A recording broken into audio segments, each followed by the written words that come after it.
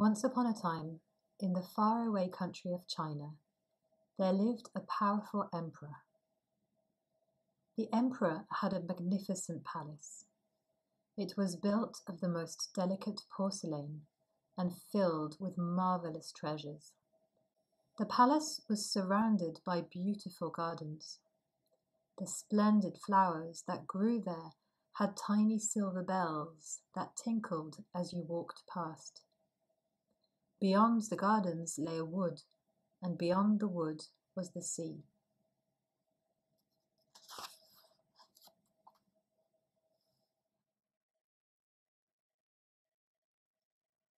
In a tree that grew close to the water's edge, there lived a nightingale.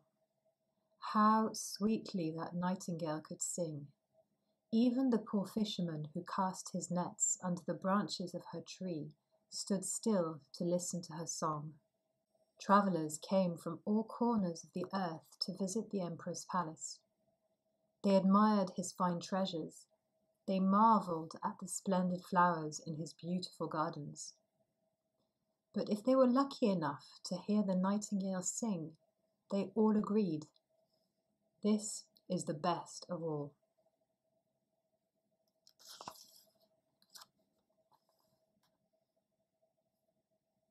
Many books were written about the emperor's palace and its treasures, and it was always the nightingale that was praised above all else. These books were sent all over the world. One of them reached the emperor. The emperor was pleased as he read the fine descriptions of his palace and gardens. Then he read something which surprised him very much. The words but the nightingale is the best of all, were written in the book.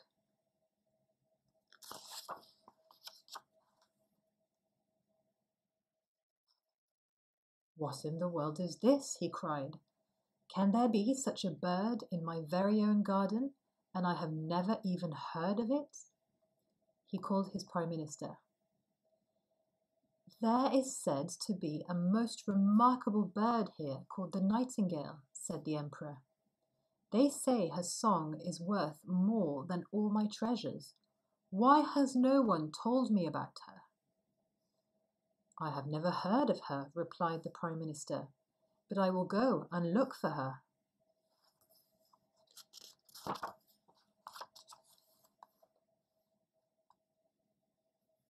So the Prime Minister searched the palace.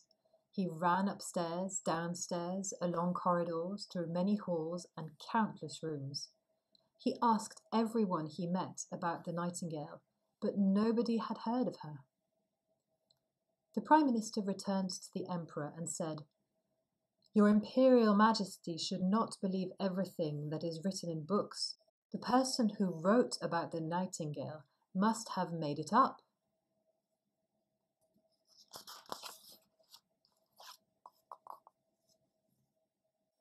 The emperor replied, But the book was sent to me by the high and mighty emperor of Japan, so it must be true.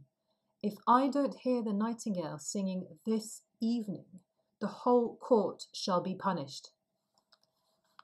In great alarm, the prime minister searched the palace once more.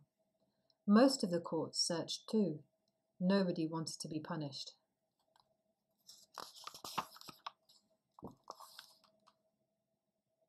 At last they met a little kitchen maid.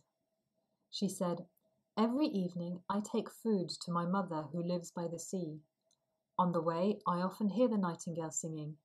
It is so beautiful, it makes me cry. The Prime Minister ordered the little kitchen maid to lead him to the nightingale.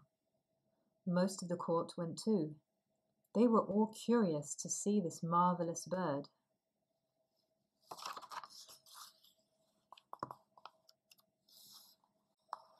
On the way to the seashore, they heard a cow mooing. Listen, said a page boy. It's the nightingale. What a deep voice she has. No, said the little kitchen maid. That is a cow. We must go a little further.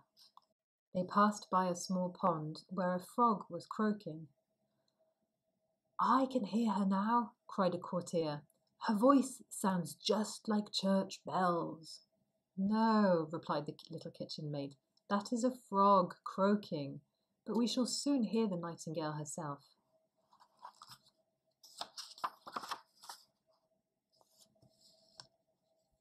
At last they came to a tree close to the water's edge. The little kitchen maid pointed to a small bird sitting on a branch. There she is, she whispered, the nightingale. Could it be possible, asked the Prime Minister, that such a plain creature could sing so beautifully? You shall hear for yourself, replied the kitchen maid. Dear Nightingale, she called in a soft voice, please sing for us and the nightingale sang so sweetly that everyone was enchanted.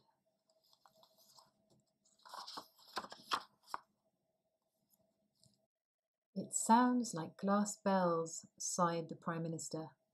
How strange that we have never seen or heard her before. Then he said, Most excellent Nightingale, I have the honour to invite you to sing before His Imperial Majesty the Emperor this evening. My song sounds far better among green trees, replied the nightingale. But she wanted to please the emperor, so she agreed to go to the palace.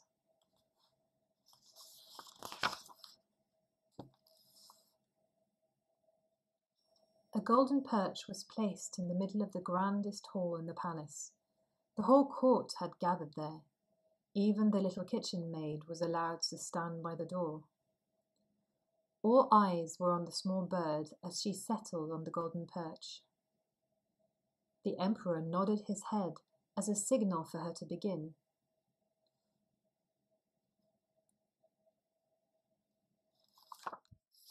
Oh il manque des pages. Là, on passe de 24 à 29. Bon, euh, bah, en fait, elle, le, le rossignol chante merveilleusement bien. Et voilà. je pense que la suite, ça devrait aller. Et l'empereur est très impressionné. There was not a man, woman, or child throughout the empire who did not talk about the wonderful nightingale.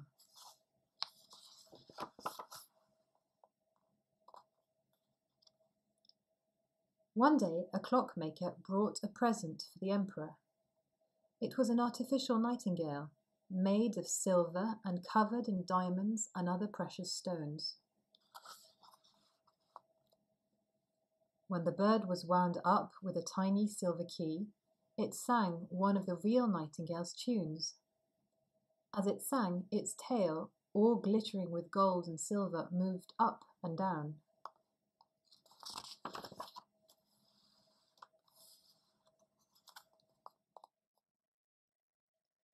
The emperor was delighted with his new nightingale.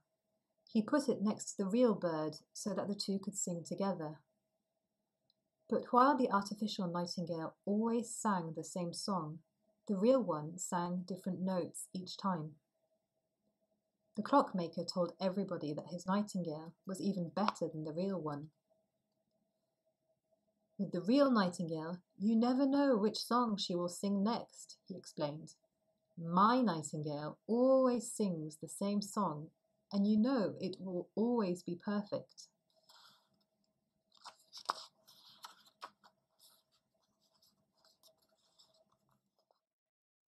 So the artificial bird sang on his own. His voice was as beautiful as the real nightingale's, and he was much prettier to look at. He could sing his song thirty times over and never be tired. The whole court listened and watched with delight.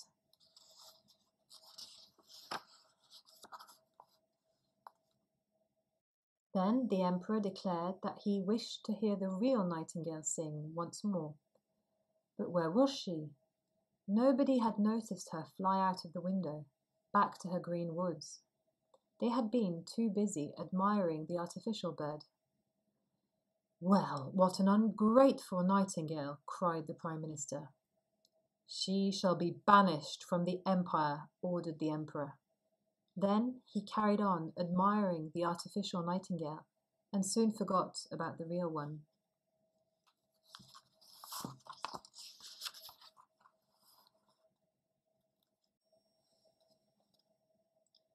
The artificial bird had his own silken cushion close to the emperor's bed. All the presents he had received, gold and silver, lay around him. A year passed. The emperor, the court, and all the people of China knew every note of the artificial nightingale's song. They all loved to sing along with the bird.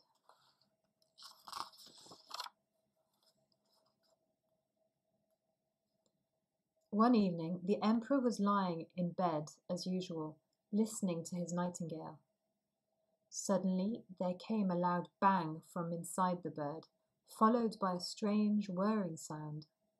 Then the music stopped. The emperor jumped out of bed. He summoned the clockmaker who took the bird to pieces and mended it as best he could. But the tiny wheels which made the notes were wearing out. From that day on, it was not safe for the bird to sing more than once a year.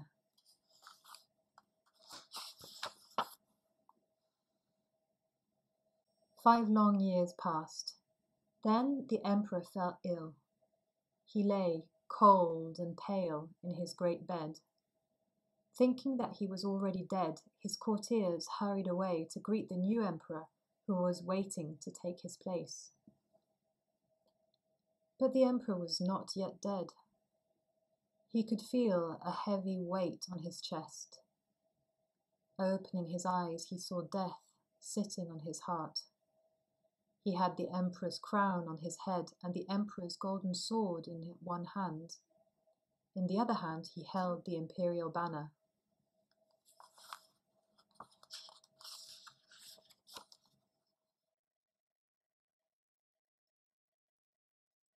Strange faces peeped out from behind the banner.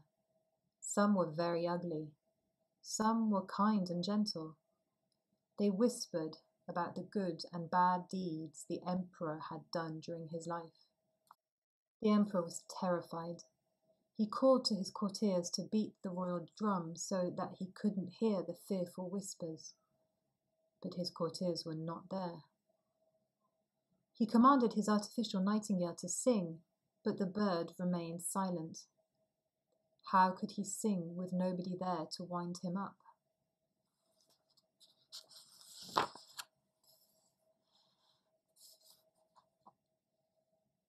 So the emperor had to listen to the terrible voices going on and on.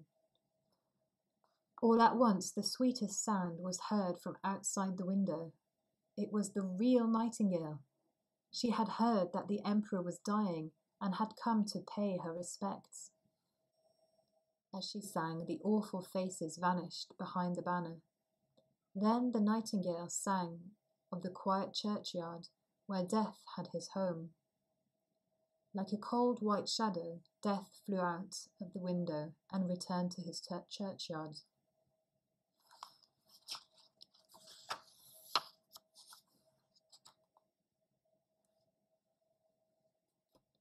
The emperor felt much better. He sat up. Tears of happiness shone in his eyes. Thank you, dear nightingale, he cried. I banished you from my empire, yet you returned to save me from death. How can I reward you? You have already rewarded me, replied the nightingale. I have seen tears in your eyes as when I sang to you the first time. Now sleep and I shall sing to you again. So the emperor slept peacefully. When he woke the next morning, the nightingale was still singing at his window. You shall stay here forever, said the emperor, and I shall break the artificial bird into a thousand pieces. But the nightingale begged the emperor not to harm the artificial bird. Then she said, I cannot live in the palace, but I shall come to your window and sing every evening. I can bring news of all that happens in your empire. But you must promise to tell no one that I sing to you, and all will be well. The emperor promised, and the nightingale flew off into the wood. Soon the courtiers came in to look at their dead emperor, and he sat up and said, Good morning.